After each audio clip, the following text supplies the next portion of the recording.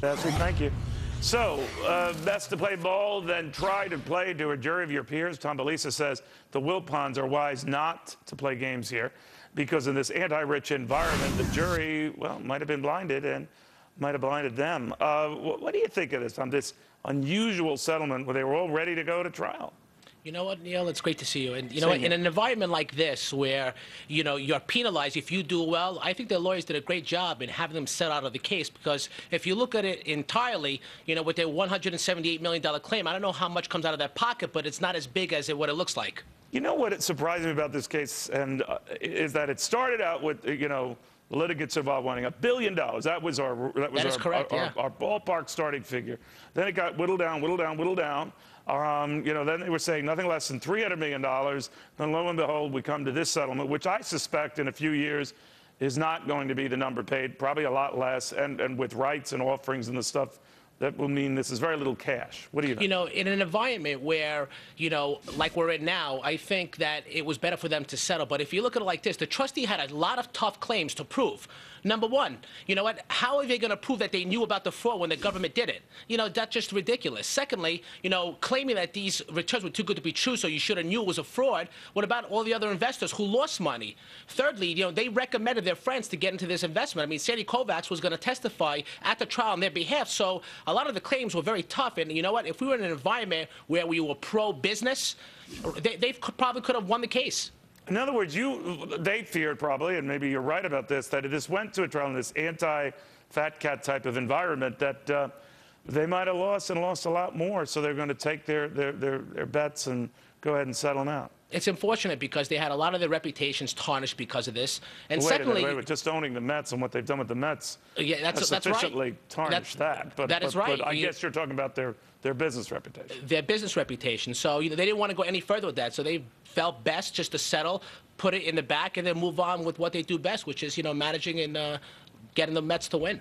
All right, well, hope springs eternal for that. But, Tom, if you'd be so kind as to stay with us, my friend, because here's one thing the Wilpons cannot settle their reputation. It took a major hit on this Madoff mess because it proves that the rich, like a lot of folks they call gullible and impressionable, can be stupid as well. They served as the latest, if not most colorful, reminder that the rich indeed can be duped too, just with far bigger numbers. Joining Tom is Jonathan Honig and Lizzie MacDonald. Liz, what do you think of that? Yeah, I think, you know, I agree with everything Tommy B says. And also, Tommy you know. B. Tommy B. well, it, it, here's the deal investors, be they rich or be they mid level or, or smaller, uh, they, everybody tends to have goldfish memories. They forget on the way up, everything looks great. I mean, you saw that, for example, with Microsoft co founder Paul Allen and the dot com bubble when Remember he sunk that? a lot of money into InfoSpace that was supposed to zoom from the internet internet to your cell phone. Great idea, but a really bad investment. So even the rich uh, uh, get really duped, and a lot of people in this uh, uh, Madoff scandal Liz, got duped too. actually- even when a that- Liz, whistleblower was telling, even when an hang on, hang Liz. on, even That's hang on, apt hang- please hang on. Even when a whistleblower was telling the SEC and laying out the problems for, even the SEC didn't catch it. All right, go ahead, John. Well, it's not an apt comparison, uh, Liz, to say that Paul Allen, who might have made a bad investment a decade or more ago, is the same in terms of getting duped as someone who was defrauded by a criminal, which is what Bernie Madoff was. I mean, Neil, That's crime my is a point. fact of life.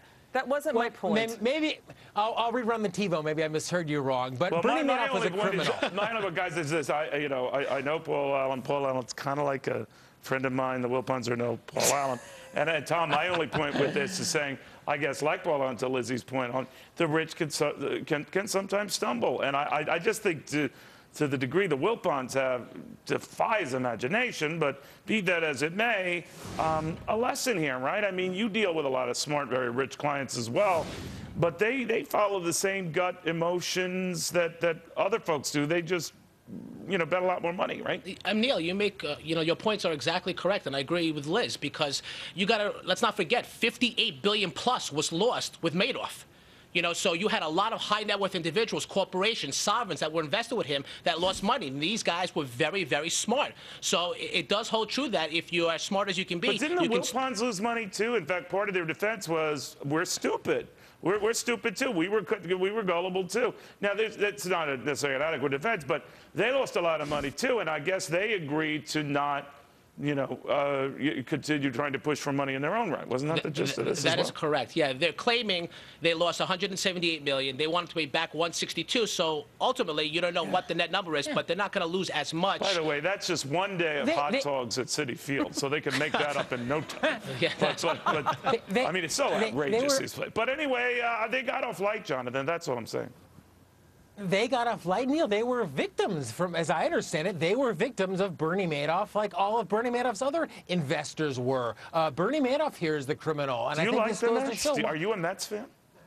I, I, I can't I can't say that I am Neil. I'm much more of a Sox fan myself, but Okay. I'm, well, I'm not a your fan of defense, criminals. Then I'll your tell you defense is reprehensible. But um, go ahead, Lizzie. What were you going to say? Uh, well, listen, this is all about, you know, riding it up in the good times, just for ignoring like the 10 or 15 percent, whatever stupid returns Madoff was promising, and not not saying taking a reality check and say, hey, wait a second, this is good too good to be true. We're keeping irrational hope alive with some of these investments, and the rich get slammed. They got slammed with Madoff, big time. Um, Tom, a lesson I think for investors, even those who are not really up to date on baseball. Apparently, I just found out the Mets, in fact, were a baseball team. That uh, you you can get you can get hoodwinked here, and and very smart folks get hoodwinked. Is there a lesson about what you do to protect yourself from that? Because whether you have a thick wallet or a small wallet or no wallet, this kind of stuff generationally happens a lot. I mean, a situation like this happens, you know, once every 20, 30 years. So, I mean, I don't think, you know, you will ever see something to this magnitude, you know, um, in, in some time. So I don't know, buddy. I just think Well, we'll just well- find a new villain, a new cockroach, and I. You know, I with the think, you know- regulations now, Neil, Well- in place, it's going to be very difficult for something know. like this to happen. Sarbanes Well, Oxley that's was supposed it's to a- stop a lot of nonsense. They just found more clever Yeah. rats. That's all. Uh, Go- go Actually, I disagree John. with Tom.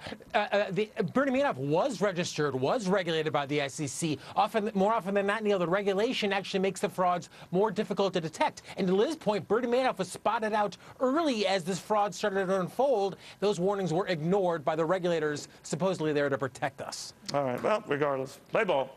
All right. What, what kind of season the Mets going to have?